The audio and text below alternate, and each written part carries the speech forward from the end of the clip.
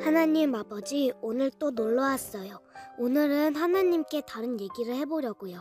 아빠가 목사님이면서 일을 하잖아요. 새벽에 나가셔서 밤늦게 오시는데 얼굴이 너무 안 좋아요. 아시겠지만 많이 아프시잖아요. 그리고 엄마도 사모님이시면서 일을 해요. 일을 안 하실 때는 같이 있어 좋았는데 지금은 그럴 수가 없어요. 부탁해요, 하나님. 아빠, 엄마 일 안 하고 목회만 할 수 있게 도와주세요. 기도로 찬양으로 가득했던 아빠, 엄마의 자리로 빨리 돌아올 수 있게 도와주세요. 성도님들과 함께 여행 가고 드림하이스쿨 했던 그때로 돌아올 수 있게 도와주세요. 오늘은 여기까지만 할게요.